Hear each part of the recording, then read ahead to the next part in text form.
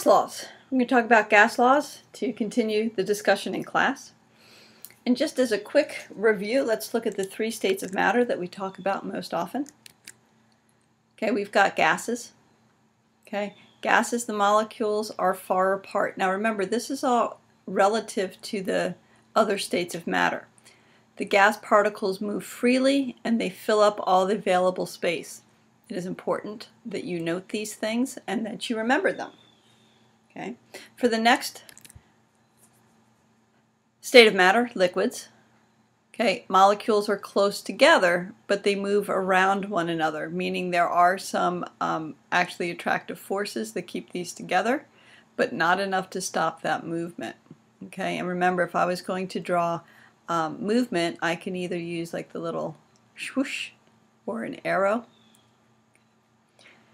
And then here using arrows with like curly things to represent that they're kind of moving over each other. And then the last state of matter would be the solid state of matter. Again, molecules are close together. Look at how close they are in this picture and in this. They're about the same distance.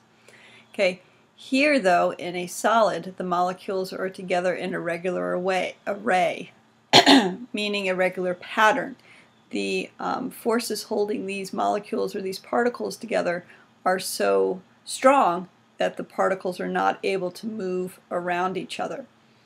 And remember that even though they are solid and they're kind of locked in place, there is still some motion because there is some kinetic energy, so it's they just vibrate in place, but they do not move around one another. Now, We've talked in class and we saw some examples about gases and we've talked about these um, being represented by small particles or circles. These um, points listed here, particularly the first uh, uh, uh, these kind of these first six, okay? This one is kind of implied in another one, but I'm jumping ahead of myself. All right, these are the points of the um, essentially the KMT or kinetic molecular theory. And you want to make sure that you get these points down and that you remember these points. I didn't spell molecular. Molec it's an A. Jeez. Molecular theory.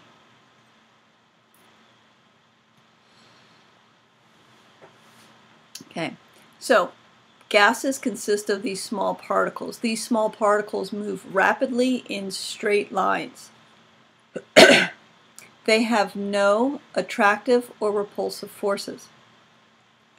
So these particles, when I drew them in class like this, okay, or bouncing off walls, they are said to move in straight lines, and they really aren't affected by other gas particles around them at least in theory. Relatively, the gas particles are very far apart. The volume that this particle takes up, this next point, the volume is very small compared to the volume of the container they occupy. Okay. They also have kinetic energies that increase with an increase in temperature. Now, this last point and please pause the, the screencast if you need to to get all these points down.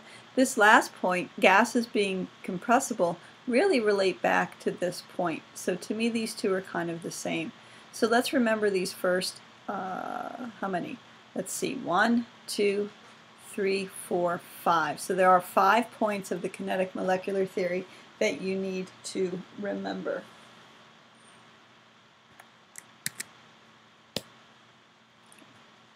Now, we're going to get into discussions about the gases and how we can uh, put numbers to some of these things and see exactly how some of the properties of gases change depending on what parameter we change. All right, and the things we're really going to focus on, at least initially, is going to be this pressure, volume, and temperature.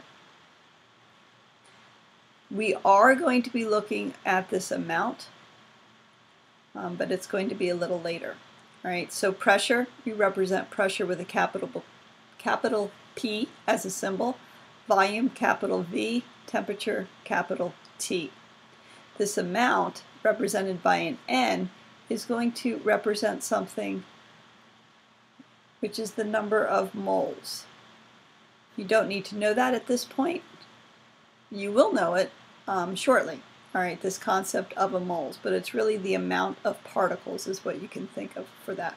But we are going to be looking at pressure, volume, and temperature, how it relates to each other in terms of gases.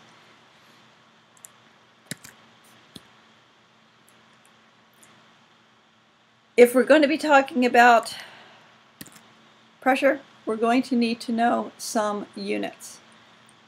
We need to know atmospheres, millimeters of mercury.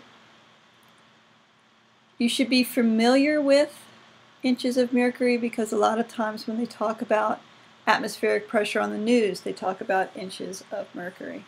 Pounds per square inch is useful to know, pascals and kilopascals. Um, you should know these. The important thing to note is the symbol of these four and how they are related to each other. And one atmosphere is taken to be an exact number. This one atmosphere is the same thing, same quantity, as 660 millimeters of mercury. Torr is an old unit. It really just means millimeters of mercury. We have pounds per square inch that you may have heard in the United States. And then we have kilopascals, 101,325 pascals in one atmosphere, 101,325 pascals in 760 millimeters mercury. All those things are equivalent. Those are the four that you need to know. Atmospheric pressure, just to remind you of the discussion in class, it is the pressure exerted by a column of air at the top of the atmosphere to the surface of the earth. At sea level, it is about one atmosphere or a little less. You need to know this definition. You need to be familiar with the concept that it really is that column of air that kind of presses down from the top of the atmosphere to the surface of the Earth. And it's the weight and the mass of those gas molecules that form that pressure. One thing I should have said, if we go back to the pressure, ah, it is written here. Pressure, again, is defined as a force acting on a specific area.